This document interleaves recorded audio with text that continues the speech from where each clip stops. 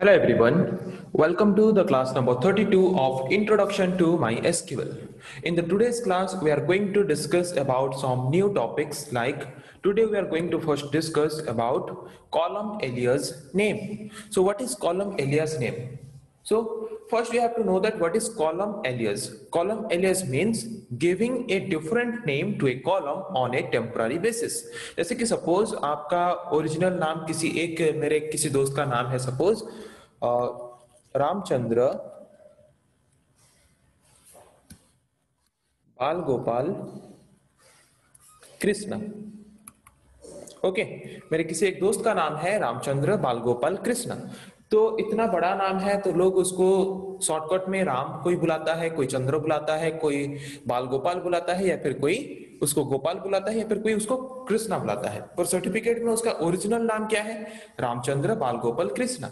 मतलब जो ओरिजिनल नाम है उसका सर्टिफिकेट में वो कभी चेंज होता है क्या? अगर किसी, कोई भी उसको, उसके शॉर्ट नाम से बुलाता है, राम अगर कोई करके बुलाता है या फिर चंद्र करके कोई बुलाता है तो उसका नाम सर्टिफिकेट में चेंजेस होता है क्या? नहीं।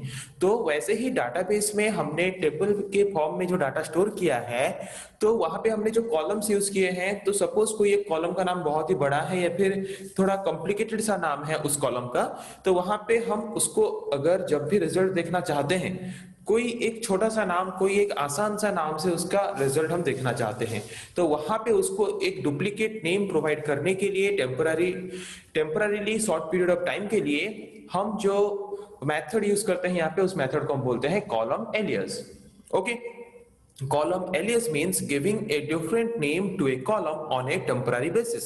जैसे कि ये एक दोस्त का नाम है, हम उसका एलियास नाम देते हैं राम, चंद्र, बाल गोपाल, कृष्णा, गोपाल, ऐसे डिफरेंट टाइप ऑफ़ उसको हम एलियास नेम दे सकते हैं। पर ओरिजिनल नेम हम उसको जितना भी एलियास नेम दे देते हैं फिर भी उसका ओरिजिनल नेम जो है, वो ओरिजिनल नेम चेंज नहीं होता। वैसे ही एक डाटाबेस में हम जो टेबल फॉर्म में डाटा स्टोर करके रखते हैं तो सपोज़ कोई एक कॉलम का नाम बहुत ही डिफ़िकल्ट है तो उसको हम बहुत ही आसान एक नाम से रिप्रेजेंट करना चाहते हैं। सपोज़ रिज़ल्ट प्रोवाइड करते वक्त तो वहाँ पे उसको और एक नाम से रिप्रेजेंट करने के लिए हम जो मेथड यूज़ करते हैं, उसको बोलते हैं column alias name okay this means that it will change the name of a column temporarily not permanently अगर हम कॉलम एलियास नेम यूज़ कर रहे हैं तो वो कॉलम का नाम टेम्पररीली चेंज कर देगा परमानेंटली चेंज नहीं करेगा।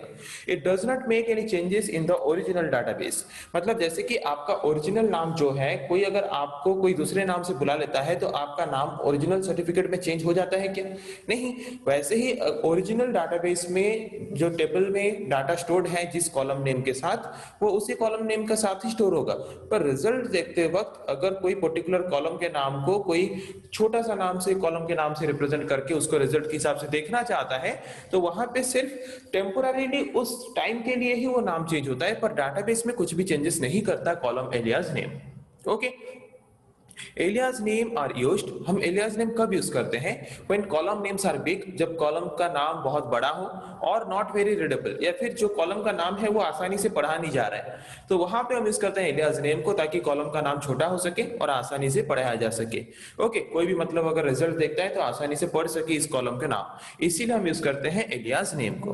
ओके okay, तो एलियाज नेम का सिंटेक्स क्या है? कॉलम एलियाज नेम का सिंटेक्स क्या है? सिलेक्ट कॉलम नेम मतलब जो जिस कॉलम नेम को हम एक नया नाम देना चाहते हैं, उस कॉलम का नाम पहले एज उसको हम जो नया नाम देना चाहते हैं, नया नाम एलियास नेम ओके जैसे कि सपोज़ अभी हमने बोला कि मेरे एक दोस्त का नाम है रामचंद्र बाल गोपाल कृष्णा। ओके ये एक दोस्त का नाम है, उसको सपोज़ हम बुला रहे हैं राम। तो वही लिखेंगे कि रामचंद्र बाल गोपाल कृष्णा एज राम। हम रामचंद्र बाल गोपाल कृष्णा को राम के हिसाब से बुलाते हैं। तो वैसे ही कोई भी एक बहुत ही बड़ा कॉलम का नाम है या फिर कोई एक अनकंफर्टेबल सा कॉलम का नाम है तो वहाँ पे हम इसको एक शॉर्ट और इजी नाम अगर देना चाहते हैं तो वहाँ पे हम इस सिंटेक्स को यूज़ करके क्या कर सकते हैं? उस कॉलम को एक नया नाम दे सकते हैं टेम्पररीली उस वक्त के लिए सिर्फ़। वो डाटाबेस में कुछ भी चेंजेस नहीं करता, बस उस टाइम जो रिज़ल्ट दिखाना है, उसी वक्त बस टेम्पररीली उसी वक्त के लिए लिए ही चेंजेस करता है आउटपुट दिखाते वक्त। डाटाबेस में कुछ भी बदलाव नहीं कर सकता कॉलम एलियास नेम ओके तो एग्ज़ाम्पल देखते हैं। जैसे कि यहाँ पे एक स्टूडेंट टेबल है। स्टूडेंट टेबल में तीन कॉलम है नेम रोल नंबर मार्क तो यहाँ पे रोल नंबर जो है इतना लंबा है। तो मैं उसको सिर्फ़ रोल के हिसाब से सपोज़ दिखाना चाहता हूँ।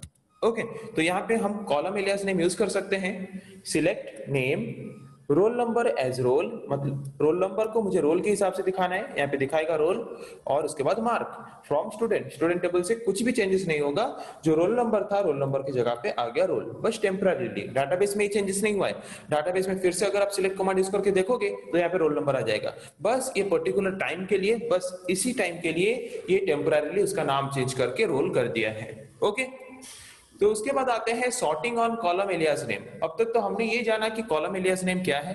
कोई भी एक पर्टिकुलर कॉलम को टेम्पररीली एक नया नाम जो देते हैं हम रिज़ल्ट के रिज़ल्ट प्रोवाइड करते वक्त तो उस नाम को हम बोलते हैं column alias name column alias name database में कुछ भी चेंजेस नहीं करता, वो बस उस पर्टिकुलर रिज़ल्ट को डिस्प्ले करते वक्त जो कि नाम है, वो नाम को चेंजेस करता है। डाटाबेस में कुछ भी बदलाव नहीं कर पाता ओरिजिनली ओके तो जो हमने कॉलम एलियास दिया यहाँ पे मतलब हमने जो यहाँ पे नया नाम दिया कॉलम को टेम्पोरिली उस नाम को यूज़ करके ऑर्डर बाय क्लॉज के द्वारा, अगर हम एक पर्टिकुलर टेबल को असेंडिंग या फिर डिसेंडिंग ऑर्डर में अगर अरेंज कर रहे हैं तो उसको हम बोलते हैं sorting with column alias name suppose मैंने रोल नंबर वाला फ़ील्ड था, उसको मैंने नाम दे दिया रोल और उसी एलियास नेम को यूज़ करके ऑर्डर बाय क्लॉज के द्वारा अगर मैं सॉर्टिंग कर रहा हूँ असेंडिंग या फिर डिसेंडिंग ऑर्डर में तो वहाँ पे हम बोल सकते हैं कि हम एलियास नेम को यूज़ करके सॉर्टिंग कर रहे हैं असेंडिंग या फिर डिसेंडिंग ऑर्डर में बोल के।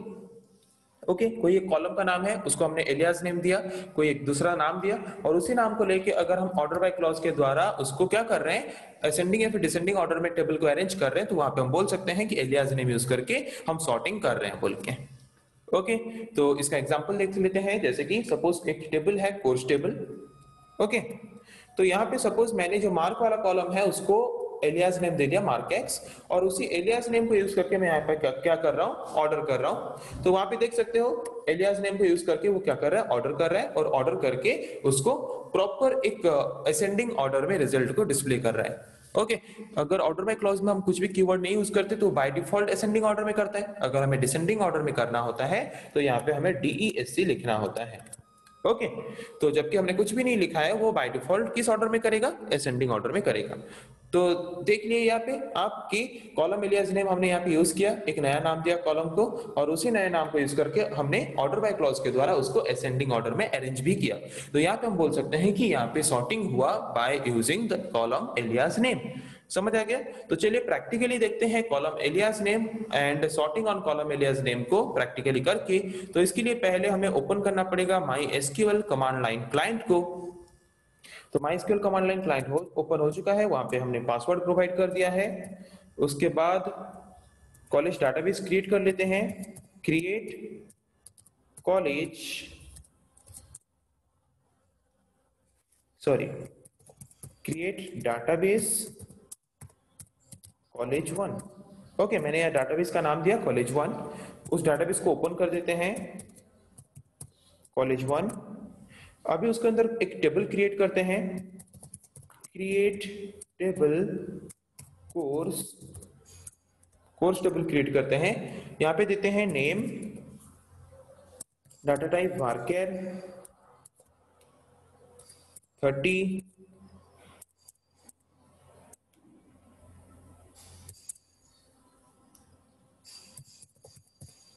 create table course name data type लेते हैं वार्केर साइज़ दे देते हैं थर्टी उसके बाद रोल डाटा टाइप देते हैं एंड उसके बाद मार्क यहाँ पे डाटा टाइप देते हैं डाटा टाइप देते हैं मार्क में भी एंड उसके बाद हम लेते हैं स्ट्रीम यहाँ पे डाटा टाइप दे देते हैं वार्केर ओके साइज़ ट्वेंटी हो गया, मुझे उतना ही फ़ील्ड बनाना है। हो गया रेडी अभी वैल्यू इंसर्ट करते हैं। Insert into course values name A A roll one mark 540 stream science S C I E N C science okay उसके बाद और एक रिकॉर्ड लेते हैं। BB roll number two mark लेते हैं 520 और उसके बाद स्ट्रीम ले लेते हैं आर्ट्स ओके उसके बाद और एक रिकॉर्ड ले लेते हैं सी सी रोल नंबर है थ्री मार्क लेते हैं 560 और यहाँ पे स्ट्रीम ले लेते हैं साइंस ओके तीन ही रिकॉर्ड लेते हैं. अभी इसको सिलेक्ट कमांड यूज़ करके देख लेते हैं. सिलेक्ट स्टार फ्रॉम कोर्स यहाँ पे देख सकते हो। तो अभी हम क्या करते हैं, अगर कॉलम एलियास नेम यूज़ करके जो भी एक पर्टिकुलर कॉलम का नाम है, उसका नाम चेंज करके उसके जगह पे हम कुछ दूसरा नाम देना चाहते हैं टेम्परारीली तो वहाँ पे हम कॉलम एलियास नेम को यूज़ कर सकते हैं। सिलेक्ट सिलेक्ट नेम मुझे रोल को रोल नंबर के हिसाब से दिखाना है suppose roll as roll number roll as roll number mark stream from course तो यहाँ पे मैंने कॉलम एलियाज नेम यूज़ किया रोल वाले फ़ील्ड में, और उसके नाम को चेंज करके टेम्परली मैंने किया है रोल नंबर तो यहाँ पे देख सकते हो रोल की जगह पे दिखा रहा है रोल नंबर तो कॉलम एलियाज नेम हो गया. तो अभी कॉलम एलियाज को बेस करके अगर हम क्या करना चाहते हैं, उसको सॉर्टिंग करना चाहते हैं तो देखते हैं यहाँ पे select name mark as mark X मैंने मार्क वाला जो कॉलम का नाम था, उसको मैंने एलियाज नेम करके मार्केक्स कर लिया है। फ्रॉम कोर्स मुझे सिर्फ़ यही दो कॉलम को देखना है और उसको मुझे ऑर्डर करना है order by mark X mark X को लेके मुझे क्या करना है यहाँ पे ऑर्डर करना है। तो यहाँ पे आप देख सकते हो मार्क एक्स दिखा रहा है और मार्क एक्स को लेके उसने असेंडिंग ऑर्डर में ऑर्डर भी कर लिया है। तो यहाँ पे हमने देखा कि कॉलम एलियास नेम हम कैसे यूज़ करके एक डिफरेंट नेम प्रोवाइड कर सकते हैं कॉलम को टेम्पररीली और उसी टेम्पररी नेम या फिर एलियास नेम यूज़ करके हम कैसे सॉर्टिंग कर सकते हैं उसको। ओके okay, उसके बारे में हमने पढ़ा भी और प्रैक्टिकली करके देखा भी। तो आई थिंक आप लोगों को समझ आ गया है कि कॉलम एलियास नेम क्या है और सॉर्टिंग कैसे कर सकते हैं उसी कॉलम एलियास नेम को यूज़ करके फिर नेक्स्ट क्लास में हम पढ़ेंगे ऐसे और कुछ टॉपिक्स के बारे में आज के लिए इतना ही। Thank you